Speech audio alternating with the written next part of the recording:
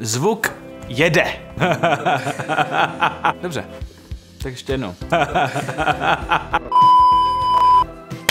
Jak se jmenuješ a na co hraješ? Já jsem Matěj a hraju na bubny. Co kromě hraní máš v kapele za funkci? Produkuju a píšu a dělám všechno, co nikdo jiný nechce dělat. To znamená všechno. Oblíbený song od nás. Dospělý. A kus zaspívej. Tak vítej, pič! Pičo.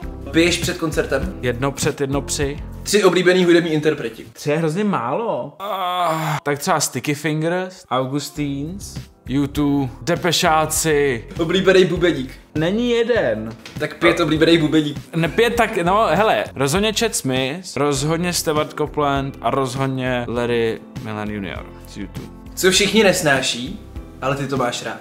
Můj humor. Máš kerky? jo. A jakou máš nejradši? Uh, tu na noze. Ukážeš jí?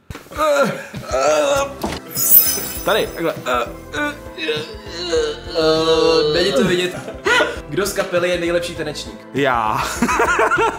Co děláš posledních pět minut před koncertem? Nadávám vám. ne, objímáme se a doufám, že mám všechno zapojený. Jsem backstage a piju šampaňský. yes!